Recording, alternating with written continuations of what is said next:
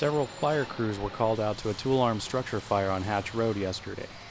The property had burned several times before and is extremely vandalized.